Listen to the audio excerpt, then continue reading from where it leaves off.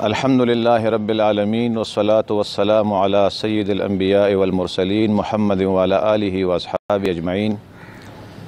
الحمد للہ اللہ رب العالمین کے فضل و کرم سے اور مسلمانوں کی دعاؤں سے متحدہ مجلس عمل ایم ایم اے کی مکمل طور پر بحالی کا اعلان ہوا ہے اور فیصلہ ہوا ہے۔ کراچی میں دینی جماعتوں کے سربراہان کا اجلاس ہوا ہے، جس میں مولانا فضل الرحمن صاحب، محترم جناب سراج الحق صاحب، مولانا شاہ احمد نورانی مرحوم کے فرزند اور جے یو پی کے جنرل سیکٹری اویس نورانی صاحب اور علامہ ساجد نقوی صاحب، علامہ ساجد میر صاحب نے شرکت کی ہے۔ یہ وہ اتحاد ہے کہ جن کے مقاصد بھی واضح ہے اور جن کے اہداف بھی واضح ہے۔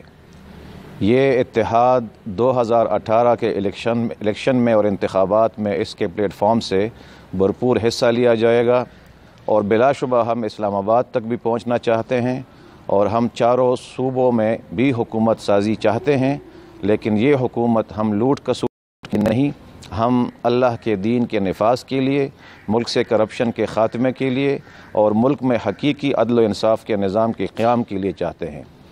میں اس موقع پر تمام مسلمانوں کو اور خصوصاً ضلع مردان کے غیور مسلمانوں کو مبارکباد دیتا ہوں اور مردان کے حوالے سے تو یہ میں یہ عرض کروں گا کہ ہم نے تو اس دینی اتحاد اور ایک دینی پلیٹ فارم کا آغاز بہت پہلے سے کر دیا ہے۔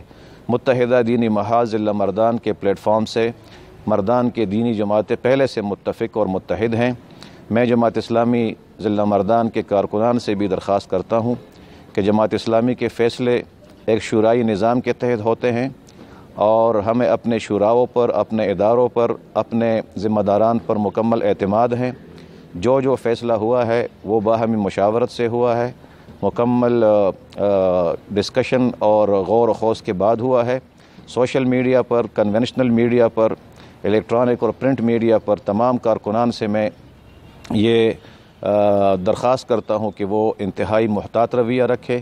متحدہ مجلس عمل کا فیصلہ ہوا ہے۔ اب اس مجلس عمل کے پلیٹ فارم کو ہی ہم استعمال کریں گے۔ اور ایسے ریمارکس سے اور ایسے، ایسی باتوں سے احتراز کرنا چاہیے، جس سے ہمارے جماعت اسلامی اور ہمارے شورائی نظام کے فیصلوں کے اوپر اس کا، اس کی ضد پڑتی ہو۔ مجھے اپنے کارکنان سے تمام مسلمانوں سے امید ہے کہ وہ اس اتحاد کو مزید مزید طاقت دینے کے لیے اور اس پلیٹ فارم کی توسیع کے لیے اپنا مثبت کردار ادا کریں گے اور انشاءاللہ تعالی دو ہزار اٹھارہ کے الیکشن میں اس اتحاد کے پلیٹ فارم سے انشاءاللہ ہمیں امید ہے کہ ہمیں بھرپور کامیابی ملے گی اور اس کے بعد ہم یہ بتائیں گے انشاءاللہ تعالی سے قائم ہوتا ہے۔ اور ایک فلاحی اسلامی معاشرے کی عکاسی کس طرح ہوتی ہے؟ وآخر دعوانا ان الحمد للہ رب العالمین۔